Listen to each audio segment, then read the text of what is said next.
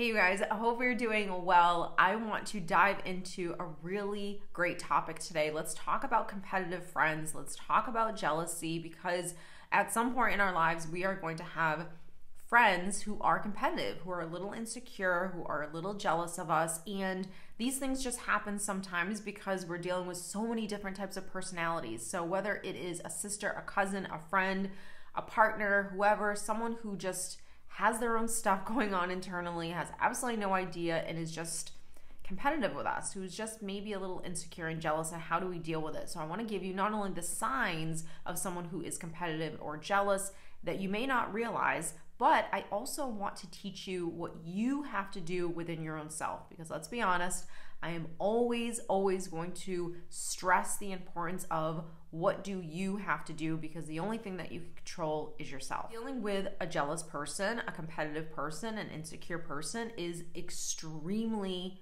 exhausting and emotionally draining. Now, here's the real problem here is if you're codependent, then you may not even realize that you're dealing with a jealous person. You may not even realize that you have a competitive friend, that you you may not even realize also that this person really is very insecure. So, when you are codependent, when you are a little bit of that empath, when you are highly sensitive, a combination of all those things or maybe just one, you are going to sense that insecurity, that jealousy, and you're going to want to try to fix this person. You're going to want to make them feel comfortable and make your accomplishments, what's going on with you, be less than. So you're going to make yourself smaller so you don't.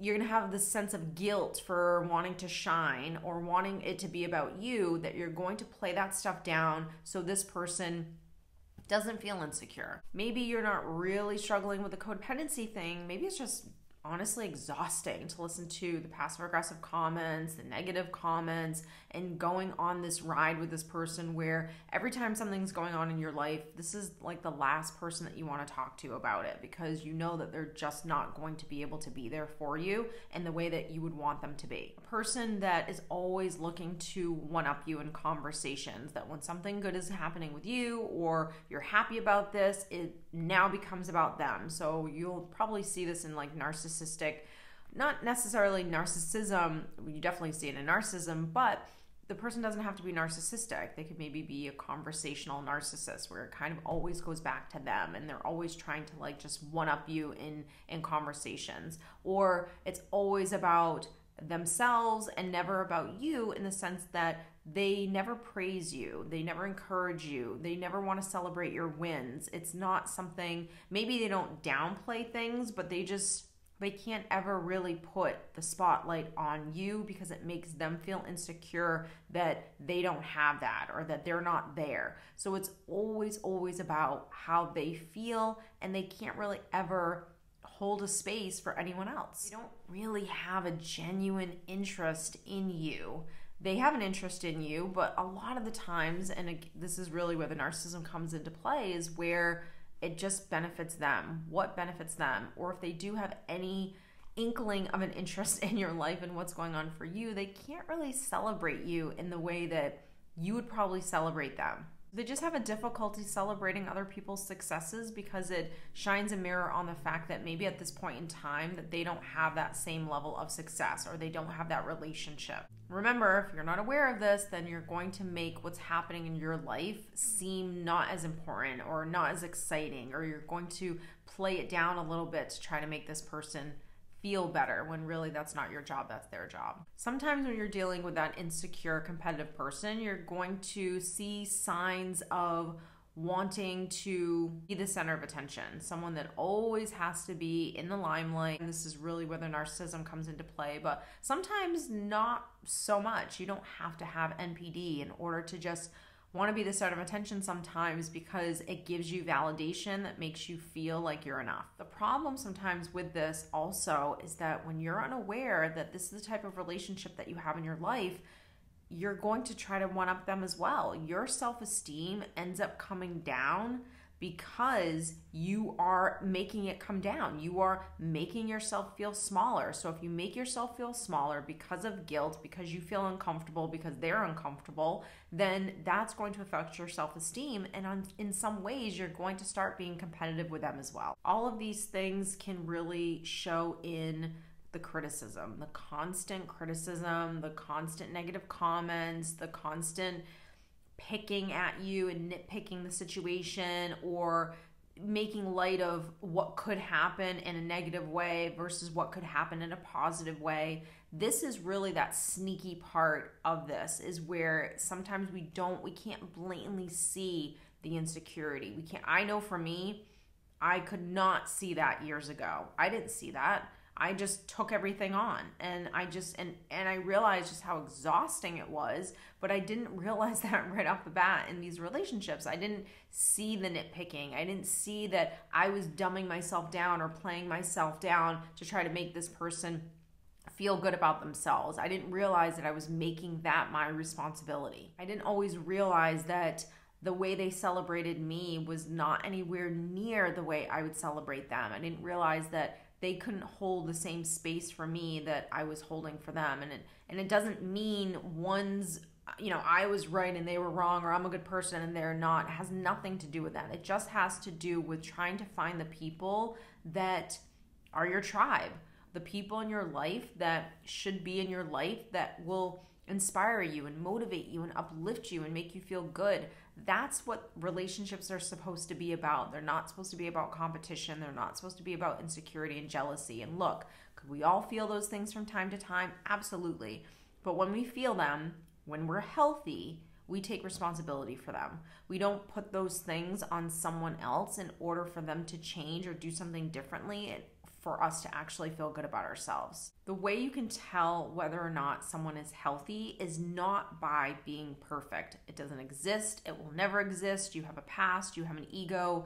So the, those things are always going to be with you. The difference between someone who's healthy and someone who's not has to do with one thing self awareness. Self awareness and do I take responsibility for what I'm seeing? Or do I make that your responsibility? Do you need to change? Do you need to behave differently? Do you need to say this to me in order for me to feel good about myself?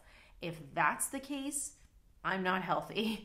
If I can fully own my stuff, then I'm healthy. People are competitive for a multitude of reasons, and being competitive is not something that necessarily is a negative thing. It can actually be a really positive thing. Some people just have this internal drive to be successful. They set really high expectations for themselves and they can just self motivate very easily. Now, it could also be a negative thing. You could also be a competitive person that wants the achievement, wants the success, wants the recognition because that makes me feel like I'm in the spotlight. It gives me validation. Being competitive could just really mean that I want something. I want financial stability. I want to find fulfillment in something. I want to find my purpose. There could be an expectation that you have with success, and being competitive is just the driving force in order for you to get there. Maybe you were raised in a family that was extremely competitive. So there was such an importance on competition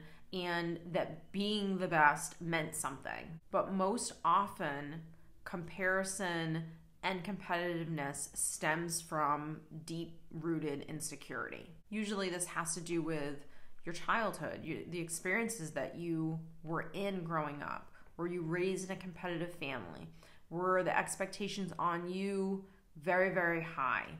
Did you not get what you needed growing up? Did you feel a lack of support? Did you experience emotional abuse? Did you experience any forms of neglect in any way? So, the, the competitiveness stems from insecurity and jealousy and things like that because I need these things in order to, for me to feel good inside. Some of it, you know, you can pick out as being a positive thing, but you have to learn the balance, the real balance between being healthy, being secure, and being a competitive person with yourself, but not also beating yourself up.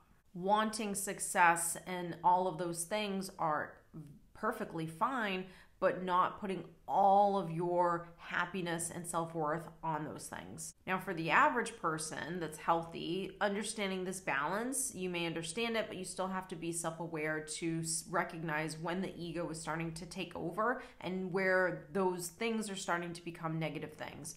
For the average person that is completely unaware, these things are going to always stem from either your upbringing, or things that were pounded into you that became part of your program. Like I said, comparison, competitiveness, judgment. If you experience all of those things at a very high volume growing up, you're going to be bred with those things. If you experience a lot of neglect, you are going to be a very jealous, insecure person. Now, let's get into the most important things you. How do you handle the situation? What I want you to do is, I want you to start reflecting on this relationship and this person. Take the time to really understand who this person is and where these things really stem from. I don't think you realize sometimes just how intuitive you are and that you can read people very easily if you slow down and take the time to really harness that intuition. You'll start to see really quickly why a person is the way they are and where this behavior is actually stemming from. When you don't do this, you just become reactive to the behavior. The next thing that I want you to do is I want you to work on your self esteem. Being around this person causes you to be in a very vulnerable state. What I mean by that is if you're not aware of what's going on, why this person is the way that they are, and learning how to not take these things on and detaching having better boundaries, etc., your self esteem is going to be affected. This is not just a random person that you bumped into at the post office who was rude to you and said some things where you can blatantly smell their insecurity coming through or their jealousy coming through or, or whatever. This is someone who's probably close to you, and what they say matters, whether you believe it or not. And if you don't understand and if you can't create a bubble around yourself when you're around this person, they are going to affect your self esteem. With all things and all relationships, one of the most important things that you will work on is boundaries. Understanding what you will and will not tolerate, understanding how often you should be around a person, being able to detach from that person when they're behaving in a certain way, to understand them on a deeper level than you do so you are not reactive and so you do not take things on. That is extremely important. And if you don't work on those things, you're always going to be surrounded with relationships that are just unhealthy. And that is going to affect not only your self esteem and how you feel about yourself, but it's going, going to affect your mood, the days, how your day goes. Because when you're around someone, it's just going to carry, they're, they're going to let all of that toxicity and all that baggage just kind of fall on your lap. And then you're going to take that with you throughout the course of your day. And that affects so much of your life is the people you surround yourself with. So, guys, thanks for watching. If you enjoyed this video, don't forget to like and subscribe. And don't forget to share me with friends and family. Regardless of what people are going through, everyone needs a dose of mental health and to learn this stuff. I have been on the phone with so many people where the daughter has shared my channel with the mother and they both watch me, or the sister was going through something, but then she knew that the cousin was going through something different, but she knew that she would benefit. So, this channel is so, so important to really help you gain an understanding and educate you and motivate you and give you just insights on what you can start working on within yourself to really have a great life, right? Not just like achieve goals and get through narcissistic abuse and get through this divorce, but just have a good day. So I hope you guys have enjoyed again, and I'll see you in my next video. Bye, guys.